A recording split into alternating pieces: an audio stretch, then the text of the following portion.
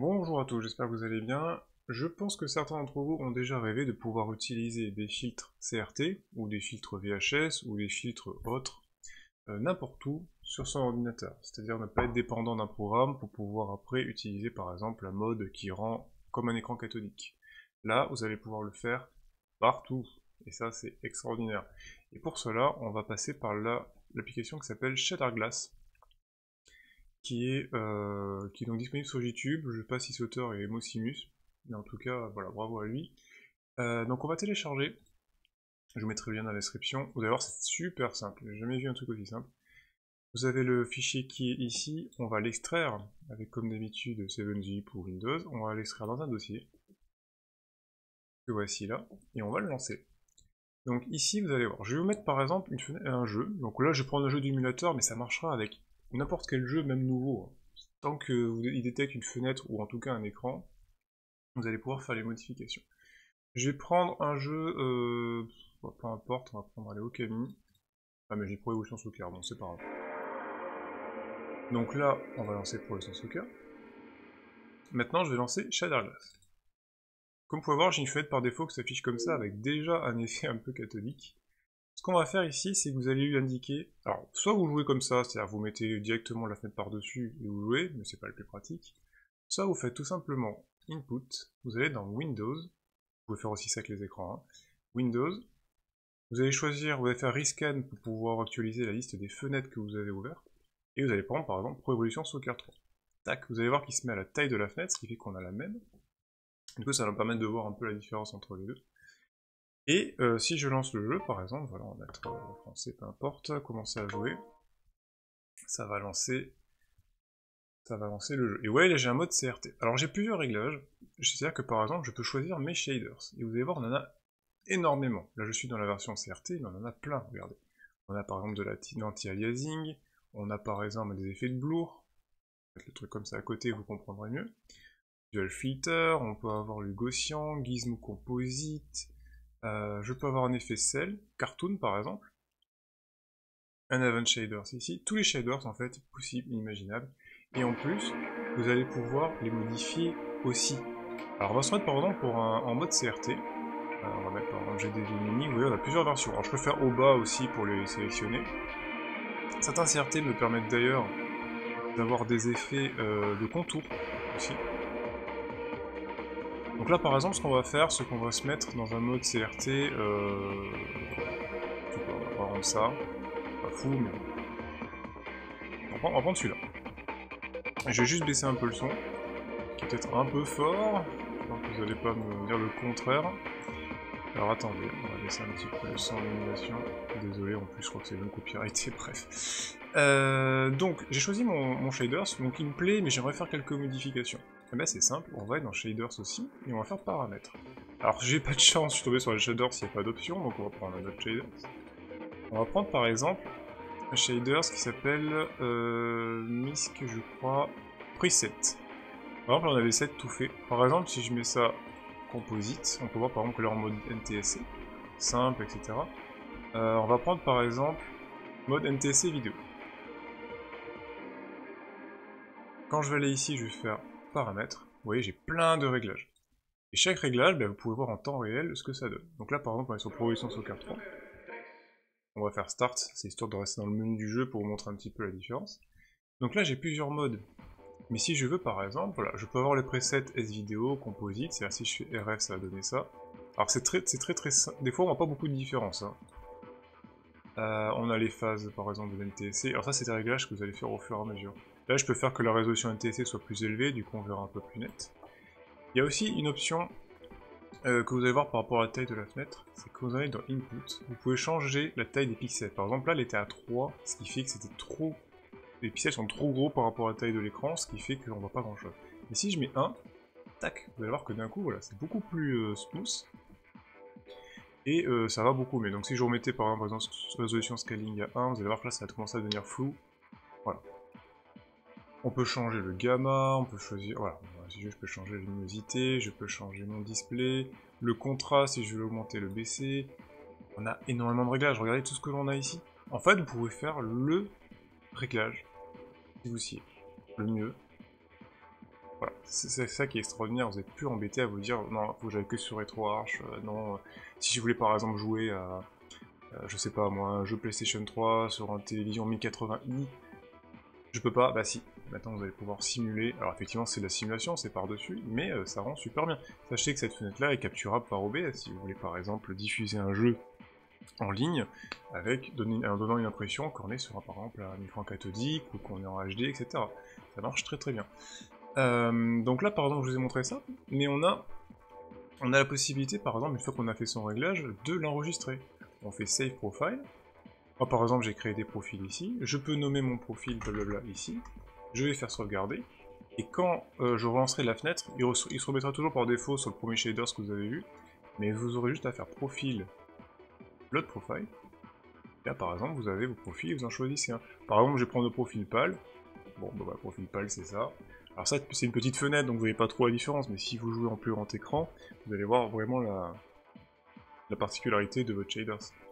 Euh, sachant que euh, le problème de ce, le seul petit problème en fait de cet émulateur, de cet, ce, outil, c'est que euh, il est toujours en premier plan n'importe aucune fenêtre se mettra au-dessus, parce que c'est le but justement, c'est que la, fenêtre se mette dessus.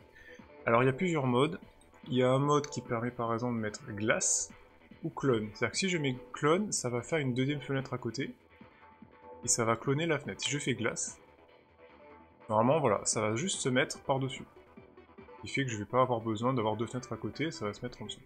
Il y a aussi un mode qui permet, quand je vais dans, Output, si je dis pas de bêtises, vous avez dans Windows, vous avez Solid ou Click-Through. Si vous êtes en Click-Through, normalement, si vous avez un jeu qui se joue par exemple au clavier et la souris, en tout cas la souris, si je clique dans la fenêtre, même celle qui est par-dessus, je vais pouvoir euh, manipuler, comme si, comme si j'avais, euh, j'étais dans la fenêtre directement, la vraie fenêtre. Donc moi j'ai mis, je l'ai activé, mais vous n'êtes pas obligé. Vous pouvez aussi modifier, j'ai dit tout à l'heure, donc la taille des pixels, vous pouvez l'ajuster par rapport au, DPI de l'écran, donc à la, résolution par pouce.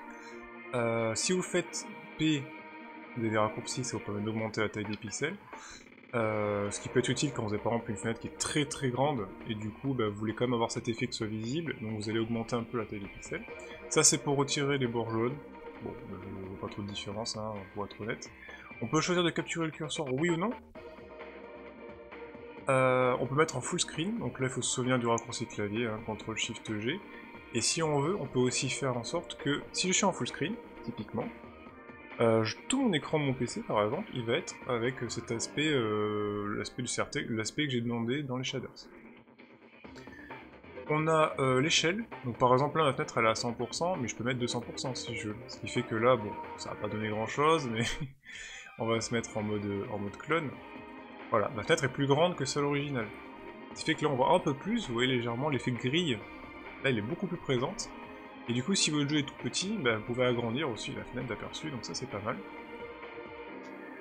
Euh, Qu'est-ce qu'on a d'autre? Bah, Pas grand chose, on va faire un frame skip. Alors je vous conseille de laisser activer parce que c'est quelque chose... Alors j'en ai pas trop parlé, mais Shader Glass quelque chose qui quand même consomme légèrement en termes de performance et de puissance. Donc il vaut mieux... Il vaut mieux quand même lui faire faire un petit frame skip, sinon vous vous rendrez compte que des fois, suivant les jeux, euh, bah c'est un peu moins fluide. Voilà, autant être honnête, c'est un petit peu moins fluide. Euh, donc ça, il va falloir faire un peu de frame skip, le configurer à 2 ou 3. Pas forcément plus, après euh, c'est une histoire de... Ça dépend d'autres PC, hein, simplement, mais quand vous allez ici, ça va être un petit peu inutile, ça n'a pas d'intérêt. On va dire entre 2 et 3, ça marche très bien. On peut corriger l'aspect ratio. Typiquement, si vous voulez absolument être en mode pâle, donc avoir un ratio d'affichage en 0 pour 94, vous pouvez. Donc si je fais pâle, ça va donner ça. Euh, si je fais, euh, par exemple, en mode SNES, ça va donner ça. Enfin, il y a plein d'options. Voilà, donc à utiliser si vous voulez ou pas.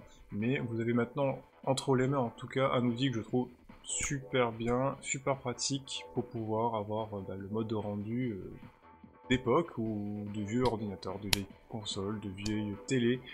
Euh, voire même des fois ça améliore aussi, hein. vous avez des, shaders pour améliorer légèrement, c'est-à-dire euh, euh, avoir un peu plus anti-aliasing, ce genre de choses. Alors je vous ai pas trop montré de shaders, il va falloir faire un peu le, tour, mais il y en a, il y en a quand même énormément.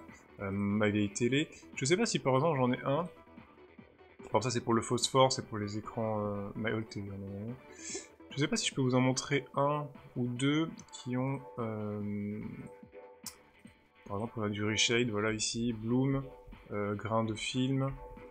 Voilà, il n'y a pas grand chose. J'ai vu des shaders par exemple qui ressemblaient à Game Boy, je crois, si je dis pas de bêtises. Motion Blur, Stock, Test. Euh, là, il n'y a rien. par exemple Frame Count, je sais pas ce que c'est. Euh, stéréoscopique, typiquement, regardez, si vous avez par exemple des lunettes et que vous voulez un mode stéréoscopique, vous pouvez l'activer, comme ça. Euh, là on a le doublage d'écran tout simplement, side by side, euh, ça c'est pas mal, j'en ai pas parlé, mais ça permet par exemple à certains lunettes de VR, potentiellement d'avoir un affichage du jeu en 3D. Euh, on a les modes skyline par exemple, on va ici on en a quelques-unes. Par exemple on a skyline verticale, euh, horizontale. J'ai pas pu vous montrer des presets de TV, là c'est par exemple les rendus, les rendus par exemple si vous branchez des câbles par exemple, si vous enregistrez par exemple sur un boîtier d'acquisition ce qui sort d'une console par exemple, avec un câble composite ou, ou S-Vidéo, ben, c'est ce que vous aurez en fait euh, en rendu sur votre vidéo finale. Donc ça permet de simuler le fait que par exemple vous avez branché une console euh, avec un câble composite ou S-Vidéo. Là par exemple on a quelques effets avec une courbure, comme les cathodiques, mais ça je peux le configurer aussi. Euh, je regardais les presets qu'il y a d'autres, bon on les a déjà vus. Euh, par exemple, on a même des, formats NES, si vous voulez avoir une certaine palette de couleurs. Alors, des fois, ça va pas bien rendre, hein, mais des fois, ça va être vraiment ce que vous cherchez. Pour les films, on l'a vu, le Technicolor, ça rend comme ça. on peut les modifier un peu aussi après. Euh, j'ai pas vu, par exemple, les vieux... Les vieux CRT, s'il y en avait des intéressants. Des fois, voilà, par exemple, ici, par exemple, vous avez un cadre, carrément. Vous avez le cadre d'un CRT. Ça marche pas mal. Euh, bah écoutez, on va pas rester mille ans, vous avez compris. Euh, donc c'est Shader Glass, je vous mets la... Je vous mettrai le lien dans la description. C'est ce que j'utilise et ce qui m'a sauvé la vie pour euh, depuis pas mal de temps, à force de passer mon temps à, sur OBS à trouver des shaders, à les faire moi-même. Enfin, j'ai le faire moi-même, c'est vraiment les faire moi-même, à créer la grille, enfin tout ça. Donc ça, ça va vous simplifier la vie. J'espère que ça vous a plu. On se retrouve pour une autre vidéo. Ciao tout le monde